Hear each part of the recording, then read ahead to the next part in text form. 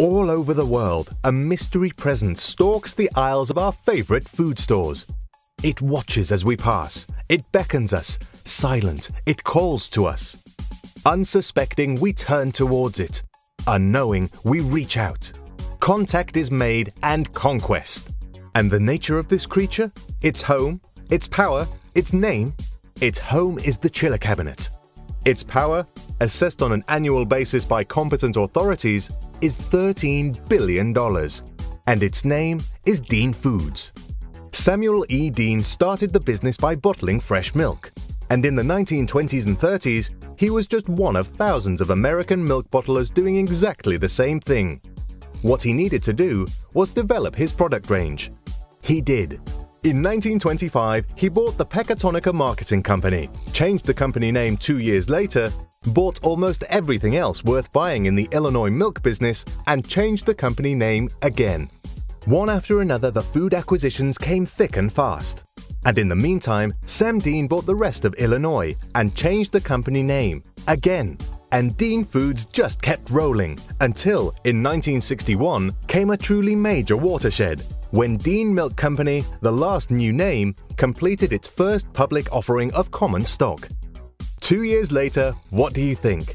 Dean Milk Company changed its name. At last, Dean Foods, or nearly. And here, in 1993, Suiza enters the picture. This unknown Puerto Rican dairy, bought out by a couple of entrepreneurial American Sam Dean lookalikes who are also fond of milk, made a bigger impact on US dairy than the rock that killed the dinosaurs. By the end of the decade, it had become the nation's largest dairy processor and its biggest distributor. And by 2001, eight years, it was ready for the big one. It acquired Dean Foods for 1.3 billion. And what do you think happened next? You don't know? Haven't you been paying attention? It changed its name to Dean Foods Company. In a nutshell, that's how the beast in the chiller was born and it's a many-headed beast. Milk, dairy in general, pickles, dips, dressings, packaged foods, well, just take a look in the cabinet. Inside lurks a creature that has come to dominate the world in less than a century. And if you think it's a complicated story, or nutshell houses what is nowadays known as a gigakernel, don't despair.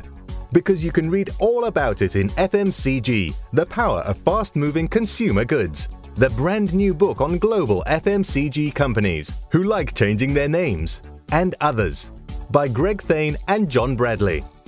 FMCG The Power of Fast Moving Consumer Goods by Greg Thain and John Bradley. A comprehensive history of the world's top FMCGs.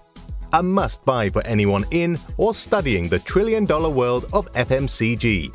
Available now on Amazon, Barnes & Noble, Kindle, Abe Books, and other leading online bookstores.